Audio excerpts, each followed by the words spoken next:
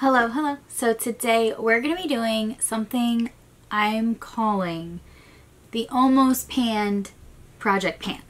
So this is a project, and ignore this swatch, I can't get it off, but this is a project of products that I'm almost done or almost hitting pan on, and I just want to give a little bit of extra attention to because I could probably hit pan on them if I did that in the next like couple weeks, couple months, that kind of thing. So before we get into it, make sure you are subscribed before you leave and give this video a thumbs up. It helps me out.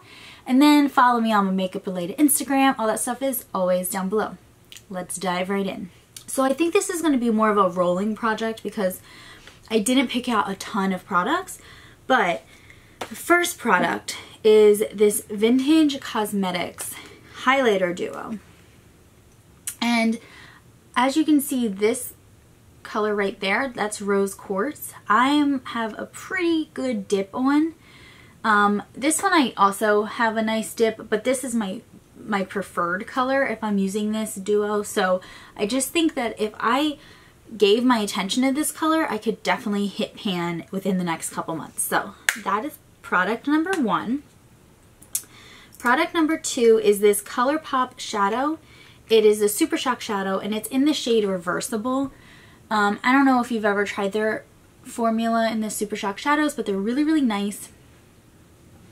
I have quite a bit and as you can see, you can kind of get the detailing of the, of the like, um, the silver thing underneath. I don't know what it's called.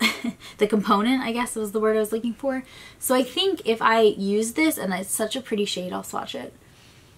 It's um just like a nice, like kind of right there, creamy, cream golden shade.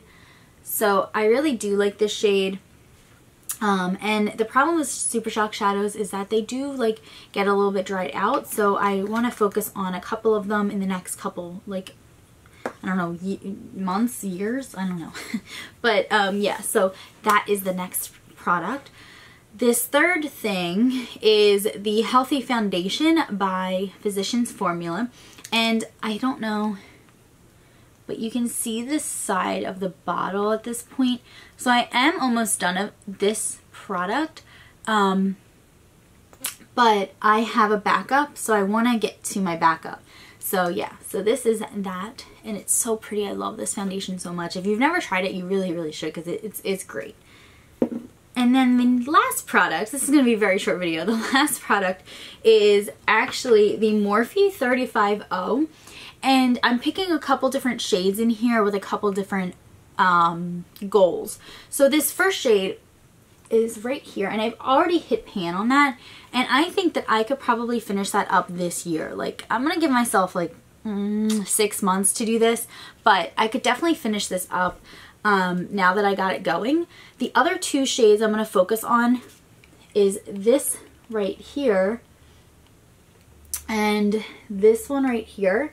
They are shimmer shades and I do have a nice little, you know, usage in them. Um, so I think that I could definitely finish these up and that's what they look like. And I'll swatch the matte shade too.